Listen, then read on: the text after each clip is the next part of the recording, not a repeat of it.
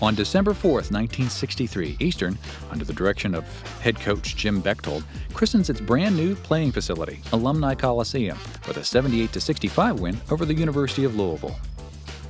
In 1964 65, Eastern secured the OVC championship as Baechtold was named OVC Coach of the Year and guiding the Maroons to a final 13 1 league record.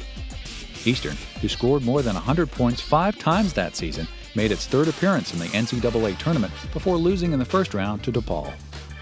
In the 1967 68 season, Eastern's 6'9 center Garfield Smith finished second in the nation in rebounding to the University of Florida's Neil Walk as he completed the season with a school record 19.7 rebounds per game average.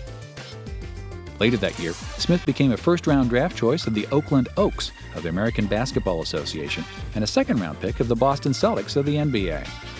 The following year, guard Bobby Washington closed his brilliant Eastern career with 1,221 points and was selected by the Baltimore Bullets in the NBA draft.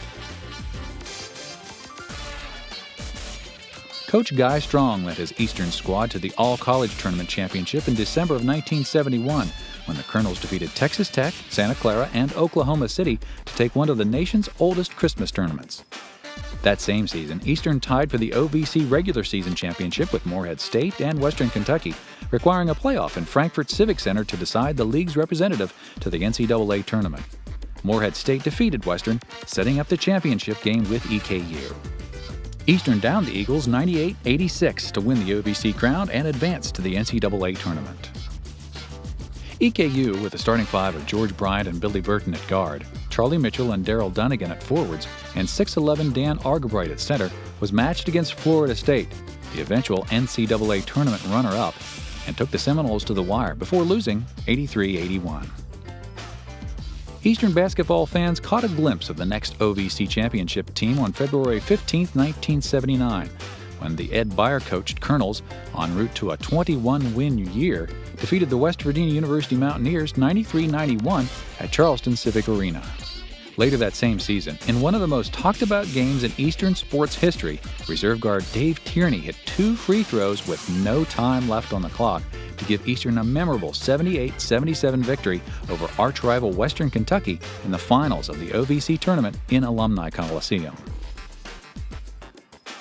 The win sent Eastern to the NCAA tournament, where the Colonels, led by the nation's third leading scorer in Turk Tillman and second leading assist man in the country in Bruce Jones, were defeated 97 81 by the University of Tennessee.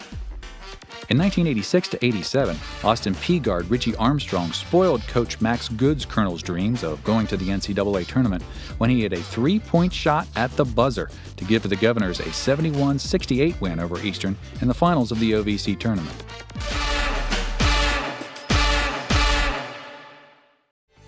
The 2000-2001 season was highlighted by guard Lavoris Jerry as he ended his Eastern career in style by scoring 41 points against Eastern Illinois in his last game as a Colonel.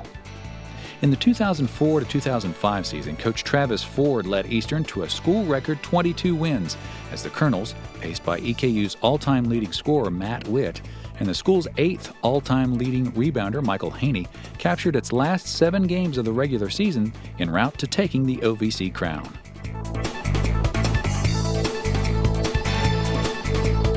Eastern had to play Kentucky in the first round of the NCAA tournament and took the Wildcats to the wire before losing 72 64 in the RCA Dome in Indianapolis.